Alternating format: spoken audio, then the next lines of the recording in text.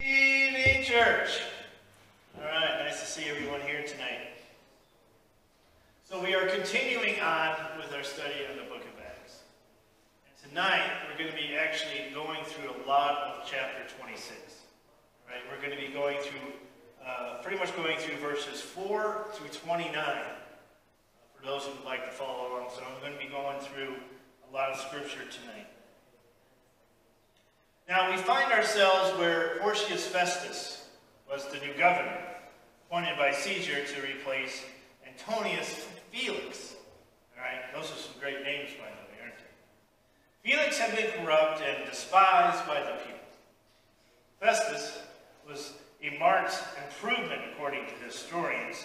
He knew he could not afford to continue to offend the Jews by the same corrupt policies of his predecessors. This no doubt weighed heavily upon his mind as he began to take care of some unfinished business of the past administration.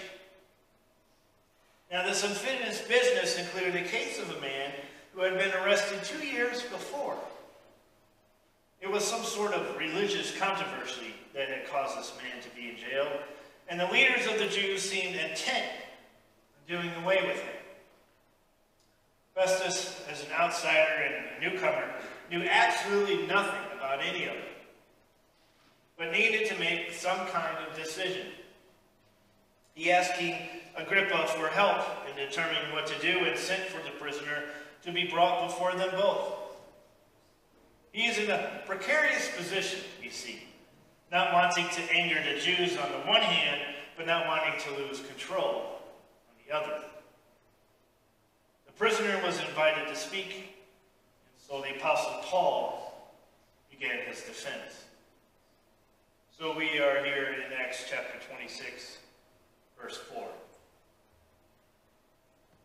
The Jewish people all know the way I have lived ever since I was a child, from the beginning of my life in my own country and also in Jerusalem. They have known me for a long time and can testify, if they are willing, that I conform to the strictest sect of our religion, living as a Pharisee. And now it is because of my hope and what God has promised our ancestors that I am on trial today. This is the promise our 12 tribes are hoping to see fulfilled as they earnestly serve God day and night. King Agrippa, it is because of this hope that these Jews are accusing me. Why should any of you consider it incredible that God raises the dead? I too was conceived, convinced that I ought to do all that was possible to oppose the name of Jesus of Nazareth. And that is just what I did in Jerusalem. On the authority of the chief priests, I put many of the Lord's people in prison. And when they were put to death, I cast my vote against them. Many a time I went from one synagogue to another to have them punished, and I tried to force them into blasphemy. I was so obsessed with persecuting them that I even hunted down them down in foreign cities. One of these journeys, I was going to Damascus with the authority and commission of the chief priest. About noon, King Agrippa, as I was on the road, I saw a light from heaven, brighter than the sun, blazing around me and all my companions. We all fell to the ground, and I heard a voice say to me in Aramaic, Saul, Saul, why do you persecute me? It is hard for you to kick against the goads. Then I asked, Who are you, Lord? I am Jesus, whom you are persecuting, the Lord replied. Now get up and stand on your feet. I have appeared to you to appoint you as a servant and as a witness of what you have seen and will see of me. I will rescue you from your own people and from the Gentiles I am sending you to them to open their eyes and turn them from darkness to light and from the power of Satan to God, so that they may receive forgiveness of sins and a place among those who are sanctified by faith in me. So then, King Agrippa, I was not disobedient to the vision from heaven. First to those in Damascus, then those in Jerusalem, and in all Judea, and then to the Gentiles.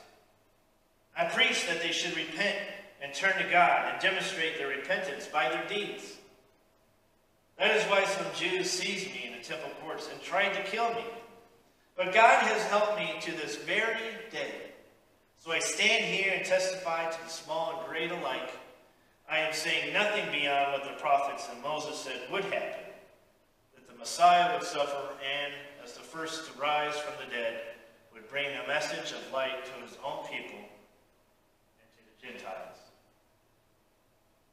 And Agrippa said to Paul, You are permitted to speak for yourself. And then Paul stretched out his hand and proceeded to make his defense, as I just read. Now, Paul's defense consisted of rehearsing how it came to be, who had been in a huge prosecutor the Church of Christ, had become one of its most zealous soldiers. It was during Paul's sermon, or that was his defense really was, that finally Festus loudly interrupted, verses 24 through 29. At this point, Festus interrupted Paul's defense. You are out of your mind, Paul, he shouted. Your great learning is driving you insane. I'm not insane, most excellent Festus, Paul replied. What I am saying is true and reasonable. The king is familiar with these things, and I can speak freely to him. I am convinced that none of this has escaped his notice, because it was not done in a corner. King Agrippa, do you believe the prophets? I know you do. Then Agrippa said to Paul, Do you think that in such a short time you could persuade me to be a Christian? Paul replied, Short time or long. I pray to God that not only you, but all who are listening to me today may become what I am, chains.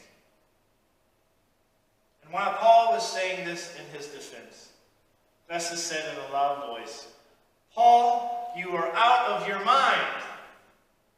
Has anybody ever said that to you? You are crazy. Paul answered the charge by insisting that he was speaking words of sober truth. The Greek word translated sober denotes mental soundness, moderation, good sense, self-control. Now certainly Paul's measured and controlled response to Festus bears out the truthfulness of his soundness of mind. He knew exactly what he was talking about. Poor Festus. He's new to the Jews and their problems. Perhaps he had never heard of Jesus of Nazareth. He lived a world away from the miracles and the controversy surrounding the man of Galilee. Also, it is probable that he knew little of anything about the prophets and Moses. Festus' frustrated cry was born out of his own ignorance as he tried to follow Paul's defense, but simply did not have the knowledge necessary to put it all together. It reminds me of today as people who know little about the Bible and what it actually says make similar basis charges against believers. Humanists, atheists, feminists, and others mock the, the which is wholly true and righteous, and not knowing at all what they are talking about. It is a manner of the blind leading the blind, and everything ending up in a ditch. Paul appeals to Agrippa's first-hand knowledge of the things about which he was speaking so that Festus may know what Paul was not was not a raving lunatic. Agrippa could testify as the truthfulness of Paul's claims that he indeed had been a leader at the forefront of a movement against Christianity. He had one time possessed the authority to throw Christians into prison and had voted for their deaths. One can almost imagine Agrippa nodding his approval. Yes, it is just as Paul stated he at one time had occupied such a position and had carried out the persecutions he describes. And Paul affirms that. This has not been done in a corner. This has not been done out of sight. If Festus had thought Paul was making it all up, he let Festus know that the things of which he spoke was common knowledge. This is a very strong point for us today as well.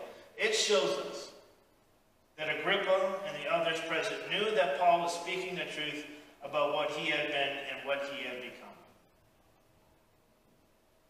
Did that ever happen to you? That somebody knows you are speaking the truth but still refuses to accept it? In addition to the fact that the recent events surrounding Paul's charge were common knowledge, Paul also appeals to Agrippa's knowledge of the prophets. Right? He's no fool. Agrippa knows. In fact, before Festus had interrupted, Paul had been speaking of the prophet. Verses 22 through 23. But God has helped me to this very day, so I stand here and testify to the small and great alike. I am saying nothing beyond what the prophets and Moses said would happen. That the Messiah would suffer, and as the first to rise from the dead, would bring a message of light to his own people and to the Gentiles. Case dismissed. Right? Prophets already said this was going to happen, and it happened. Why am I standing here in chains? Festus probably didn't know uh, the prophets at all. But Agrippa did. And perhaps Festus at Agrippa, wanting him to deny the, the validity of what Paul was saying. The denial never came. We know why. Because he was speaking the truth. Those of us who have studied the prophets know what they said about the coming of Christ. Hundreds of prophecies about Jesus fulfilled centuries after they were made. Agrippa has a decision to make here. Certainly would not be politically savvy become a Christian. But poor Agrippa could not deny the truth of what Paul was saying. Now, there must have been some turmoil with Agrippa's soul. A spiritual battle was waged between truth and lie. He knew what the right thing was, what he was supposed to do. That meant that it might put him in a precarious position.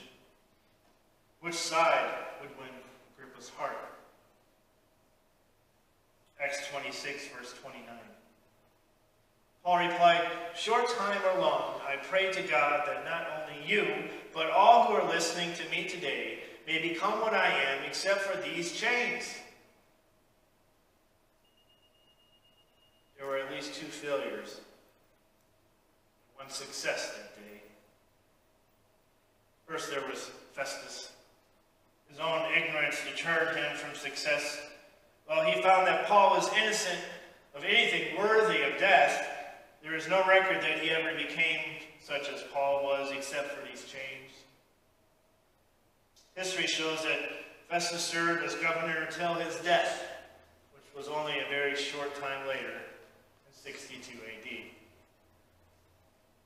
Second, there was Agrippa. King had said, In a short time you will persuade me to become a Christian.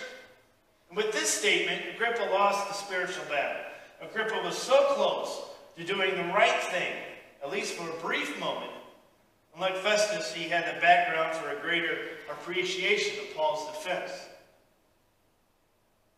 But he didn't have the integrity to pay the political cost of doing what he should have done. There's no indication that he ever became a Christian. Finally, there was success.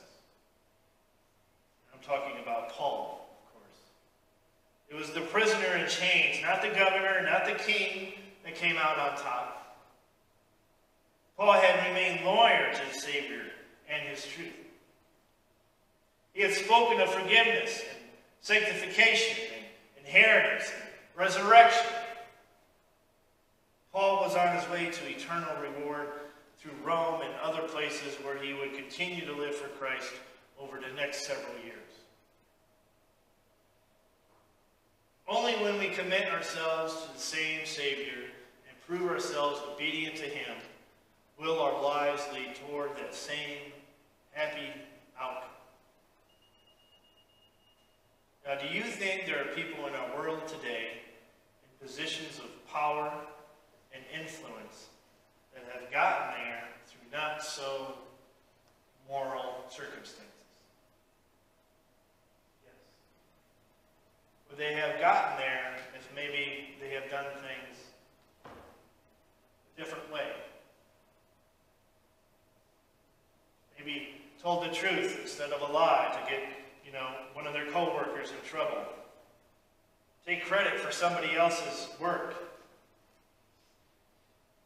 Falsify documents and uh, figures and inflate finances and income. For what? For just a short time to get ahead? For a short time? Or do we go by what, Paul did in his chains? He told the truth. He told them what happened to him. He told them how they can continue down their path or change to his path. Later on, we see Paul be persecuted, killed for telling the truth. Earlier in communion, I, I spoke about Jesus died for simply trying to help people, for simply trying to love people. Because ultimately, it's not this world that we are looking to get ahead in. It is the world after this that we look forward to. We see that in our country today. We see that in our world today. If we could simply go by what Jesus has taught us, we may not be rich, we may not get the most powerful position, we may not get what we want, whatever that entails, but we will live by the truth. Not our society's version of it. In a short time, you will persuade me to become a Christian. And it was with this statement that Agrippa lost his spiritual battle. I encourage you to not lose yours. Let's pray. Dear Father, you have shown us many examples of how to live this life on this earth. And yet we often ignore them or don't like them or they're not convenient or we just don't understand them or basically they would make life, well, harder. That doesn't mean we should follow your example. Because ultimately, following your example shows love, shows compassion. You always told us to show, show love to others ahead of yourself. Serve others ahead of yourself. And that's ultimately our downfall, is because we're thinking about ourselves. We're thinking about how this decision may influence our income, influence our job title. We need to think of others, Father. And I pray tonight that you put it on our hearts. Think of others and put others before ourselves what you showed us to do. It's in Jesus' name we pray.